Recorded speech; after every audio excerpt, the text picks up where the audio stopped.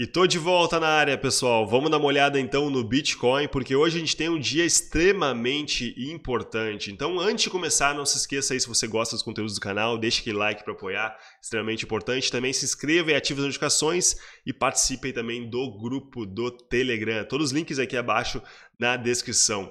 Galera, acabei de chegar em casa, fazer um update rápido para vocês aí e pretendo voltar aqui pro canal ao vivo lá pelas três da tarde aí, tá?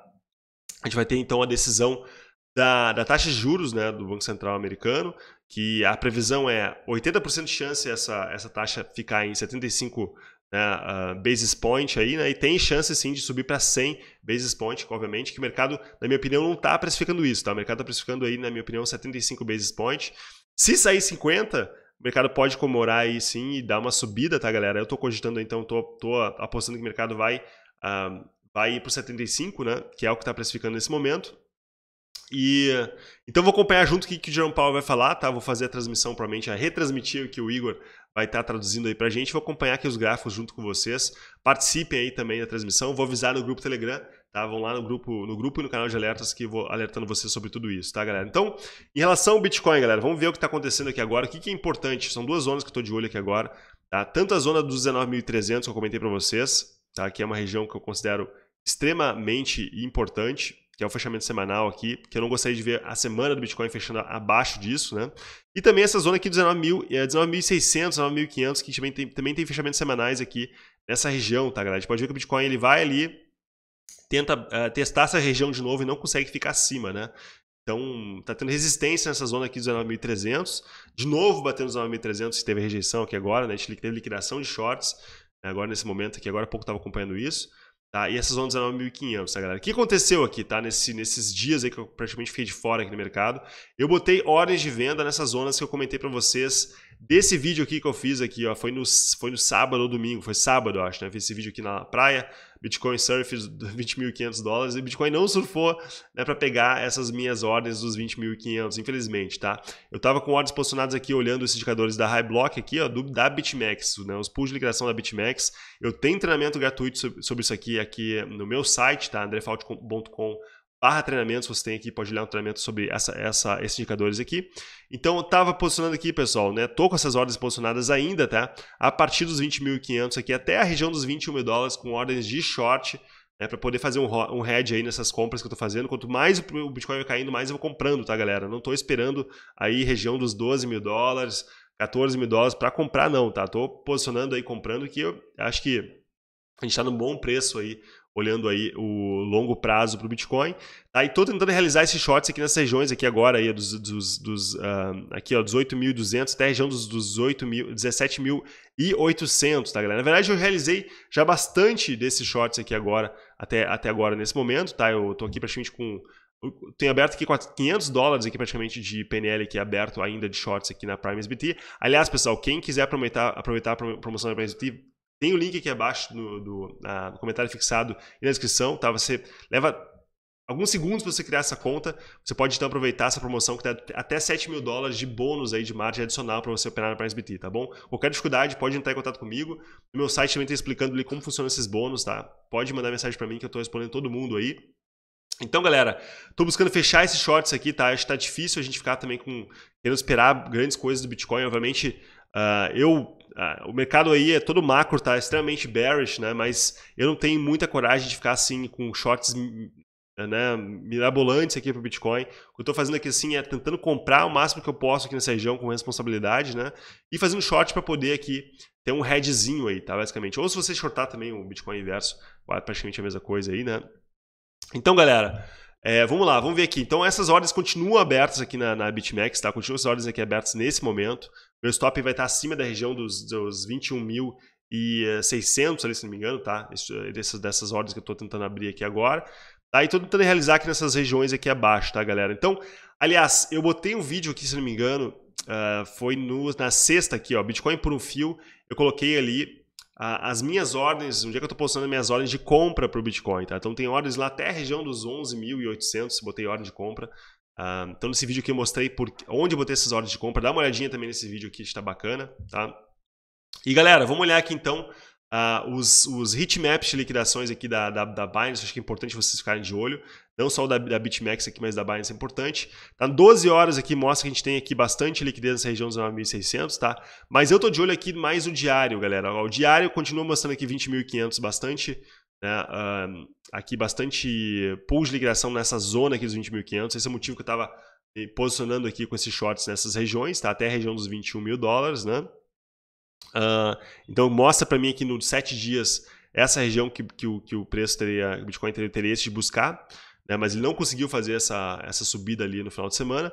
Tá? Então, galera, aqui ó, e essa aqui no curto prazo, os 8 mil dólares, está interessantíssimo aqui os 8 mil dólares, tá? Também para poder, ah, no caso, realizar, realizar shorts também, fazer compras tá, para o Bitcoin.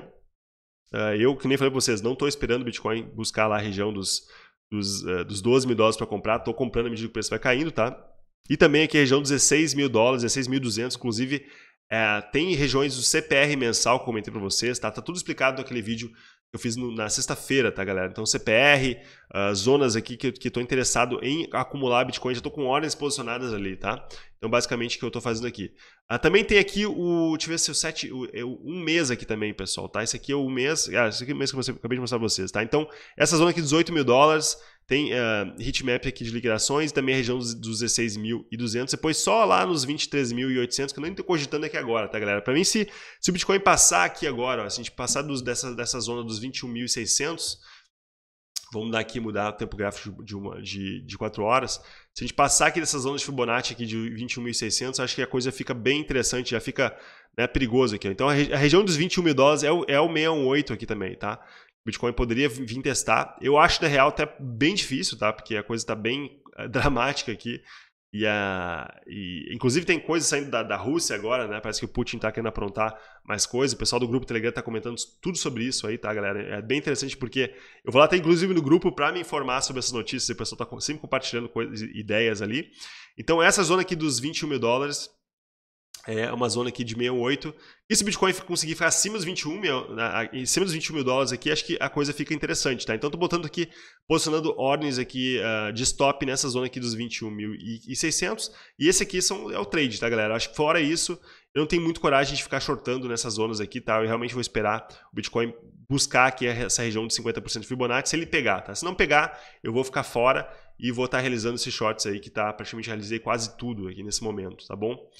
Um, caras, o que mais a gente tem aqui agora, né, que, que, a gente tem que ficar atento, né? O DXY que não para de subir, tá? Tá subindo muito forte, mas com divergências aqui no semanal, é importante vocês ficarem cientes disso, tá? A gente fazendo divergência aqui forte no semanal, ó. Vou deixar essa linha aqui um pouquinho mais grossa pra gente poder ver.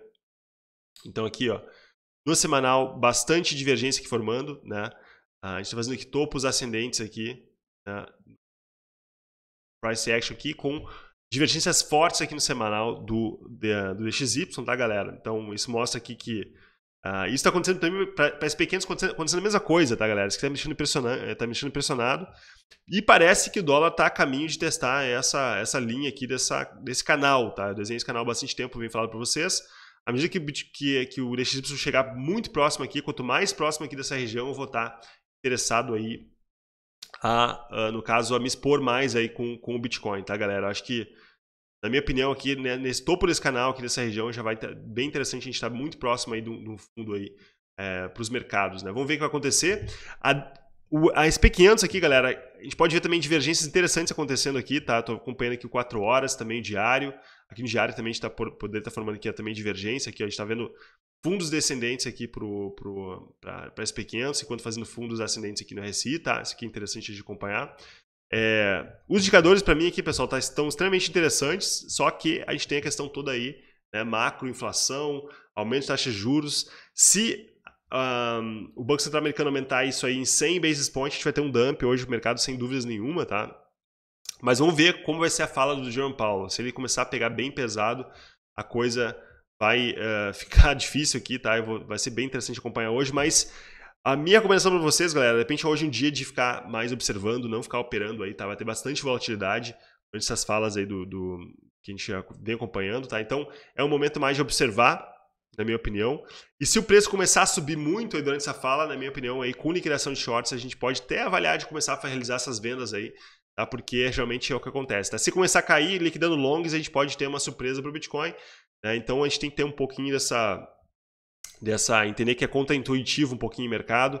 Infelizmente, até comentei no final de semana, as pessoas acabam shortando quando o preço está caindo. Eu não gosto de fazer isso, né, pessoal? Eu, eu, gosto de ver o preço subindo, liquidação de shorts aí, né, buscando esses pools de liquidação para poder entrar em operação de short, tá? Infelizmente, né, como falo, as maioria das pessoas acabam fazendo a, exatamente o contrário e por isso que elas perdem dinheiro, tá? Isso que eu gosto de mostrar aqui no canal também. Beleza, galera? Estarei aqui então às 3 horas da tarde acompanhando com vocês aqui o aqui com vocês. Tá só falando dos indicadores de sentimento aqui rapidamente. Eles estão melhorando, né? A gente está vendo o long, short aqui caindo com o open interest subindo, né? Um bom sinal. Mas tivemos, tivemos aqui já liquidações aqui também de, de, de shorts nesse momento, né? Uh, mas enfim, pessoal, não estou muito baseando aqui agora nisso aqui. Vai ter que realmente esperar a, a fala de Jerome Powell e ver aqui para onde a gente vai aí direcionar né, as coisas, tá, galera? Não estou esperando grandes coisas aí, não. Uh, coisas boas, na verdade, não estou esperando. E, mas vamos ver, tudo pode acontecer, o Jerome Powell pode surpreender, mas enfim, estarei junto com vocês aqui às três horas acompanhando o mercado, beleza, galera? Então é isso aí, deixa aquele like para apoiar. Volto aí pelas três da tarde, aviso vocês pelo Telegram a gente se vê então muito em breve. Um abraço.